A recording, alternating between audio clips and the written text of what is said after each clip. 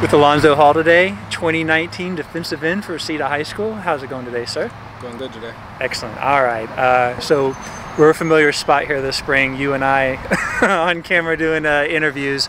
Um, I want to update, if you will. Uh, how are spring practices going for you so far? Spring practices are going great. I'm seeing a lot, lots of improvement on my feet work, my get offs, my hips, especially, and my balance in my hands.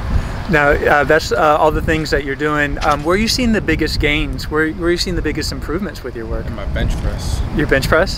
Have you maxed out lately? I haven't maxed out yet, but I'm feeling like I, for uh, right now, I'll probably max out around 275.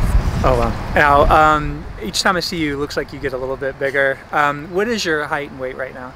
Still 6'5", got 235 now. 6'5", 235. Very good, very good. Um, and then, uh, so lots changed over the last couple months uh, for you with recruiting.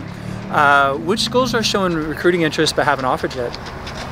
Um, Alabama, they're they should, they should be visiting today actually. That'll be fantastic. Yeah.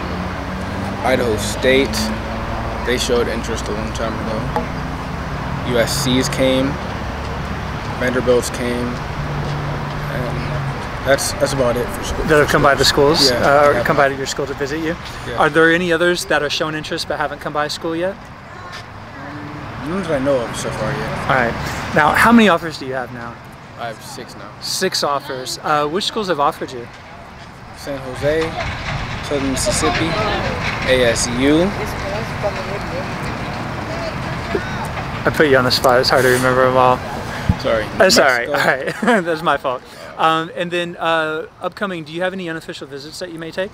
I may take an unofficial visit when I go to the USC camp, and I might take one too when I go up to Oregon for, for So- one of their camps. So you're doing those two camps. Are there any other college camps that you may uh, go to that you know of yet? UNLV camp and UCLA camp. UNLV offered, right? That's one of the ones we yeah. missed a second ago. I, I was trying to remember them all too. I can't remember.